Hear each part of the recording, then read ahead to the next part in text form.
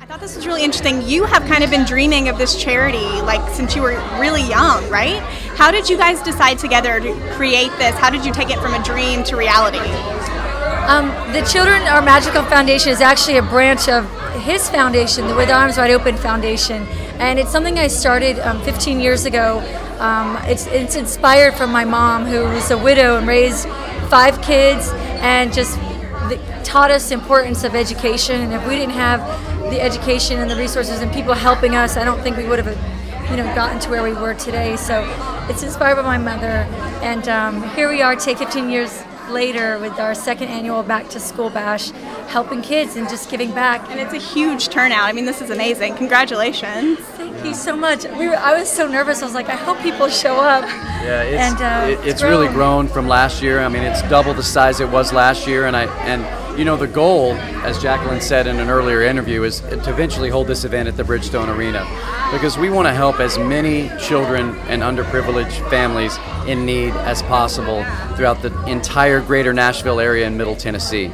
So, as many people as we can help every year to get a head start in life and a head start at school, teaching them life skills, you know, introducing them to dental checks, medical exams, haircuts backpacks, school supplies, organization, you know, being prepared for things in life. That's an essential life skill.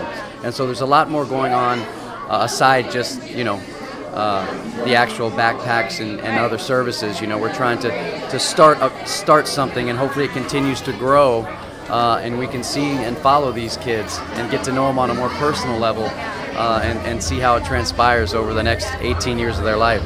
Amazing. I didn't realize you guys have kind of like known each other for a really long time. Long but time. how did you get involved? When did he call you up, and how did you guys? Um, well, we actually, um, you know, we run into each other different charity events, and uh, la- I think it was in uh, St. Augustine when we really sat down and we're talking, and they're like, "Hey, we're moving to Nashville." And we're like, "We're moving to Nashville." We all came here at the same time. We've got kids that are, you know, really close in age, and uh, you know, we just always kept the friendship and when Jaclyn had this idea and was, was talking about it, my wife and her are really close, and she's like, anything I can do to help too. I mean, this girl is a workhorse. She's she put this all. This is so unbelievable. When I heard about it, I thought it was going to be some little thing that I would come to. Man, this turnout. Now it's raining, which kind of stinks, but you know the turnout's unbelievable. The kids don't look like they're upset about the rain, yeah, so it's fine. They're, they're it's still fine. everybody's still having a great time. I mean, where where can you go and see Scott play? You know, in, in, in a gym and, and, not play Justin song. Timberlake introduce him. Not Justin Timberlake introduce him. That, that's actually on my uh, bio. Not Justin Timberlake. middle that's name the first now, thing. Yeah. Says, first of all, I know you're expecting Justin Timberlake, but got me. You're welcome. Well, I don't know if I'm ready to be the man I have to be.